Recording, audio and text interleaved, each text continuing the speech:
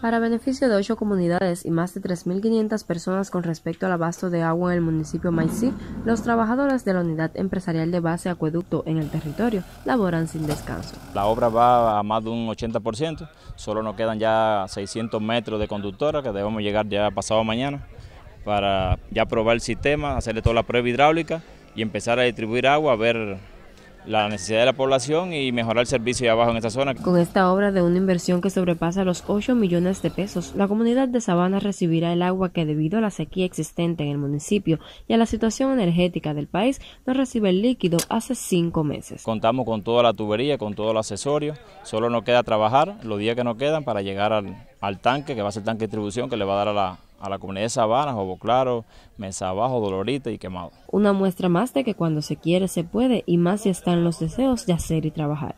Todo por un país mejor. Desde Maicillas, Naita Mayo Laborí para este espacio informativo.